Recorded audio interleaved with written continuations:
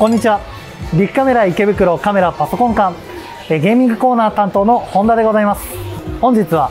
おすすめのマウスを紹介いたします。レザーのバイパー V3 Pro です。このマウスはですねすごいですよ。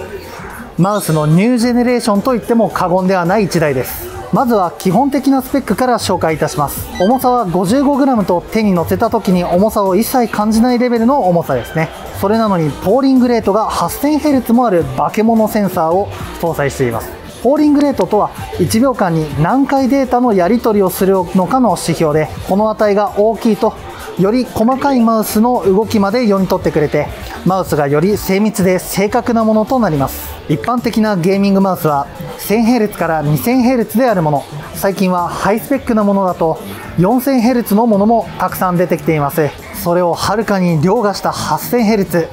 しかもマウスセンサーに AI が搭載されていてモーションシンクという機能でパソコンが情報を取得するのと同じ感覚で信号を送信することでマウスの最新情報を安定して取得し一貫したトラッキングを可能としています。もちろん魅力はそれだけではありません。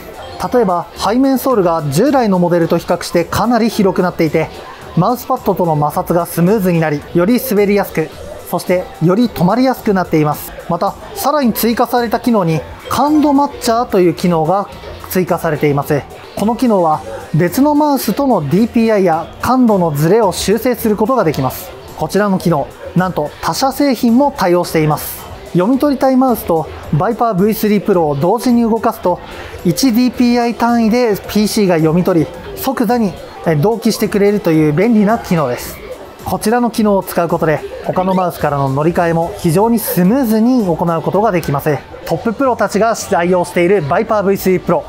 ぜひ新たなニューメタをお客様も試してみてください。